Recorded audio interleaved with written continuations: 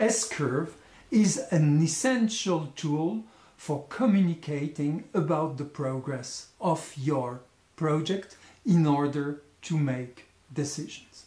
ChatGPT can generate really easily those S curves.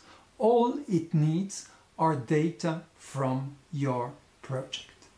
You can provide those data through an Excel file, through a CSV file. They can come from MS Project or any other project management tool.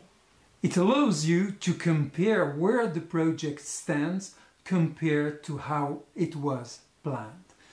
You will easily identify delays. You will be able to compare the actual costs with the budget and you will be able to define when will be the real end of the project and extrapolate the final costs. It's Christian from Vision 6D. For me, it's always a pleasure to share a part of my knowledge to level up your skills. I train and I consult for companies. I will upload my project as an Excel file.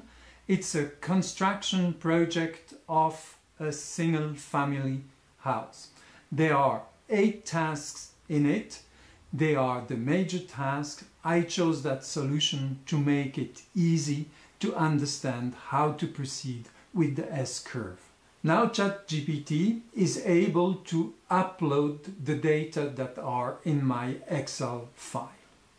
I will work with what is called advanced data analytics and I'm telling ChatGPT that it can use those data in order to build an S-curve and to use this as the baseline for the project.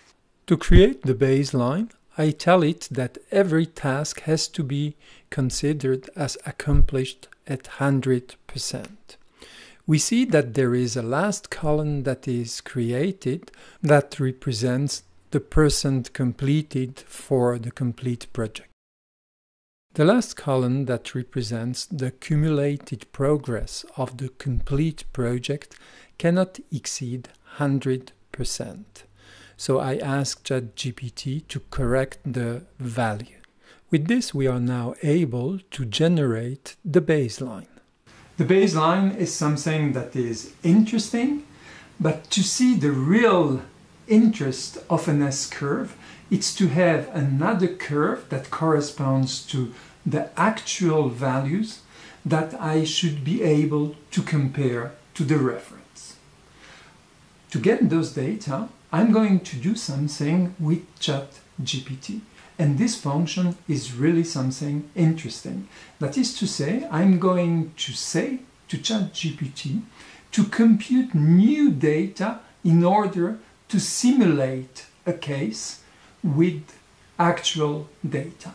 My case will be the following. I will say that the two first tasks went on absolutely normally, but the third task, which is the building of the walls, has taken a delay of 10 days.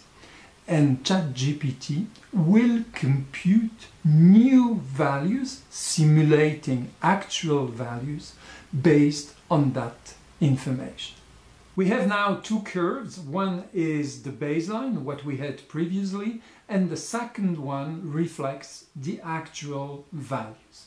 We see that on task number three there is a delay and during the rest of the project we didn't manage to overcome this delay. That's the reason why we have a new finish date. So you see that it's quite simple to construct an S-curve with ChatGPT. Of course, that S-curve was between the planned schedule and the actual values. You can also do the same kind of curve with the budget and the actual costs. And you can also do it with the planned working hours with the actual working hours. So with that, for me, it's always a pleasure to show you some of the experiences I have now with AI in project management. And I can just say, have a great time, learn, be curious, and I'm happy to see you soon in another module. Bye bye.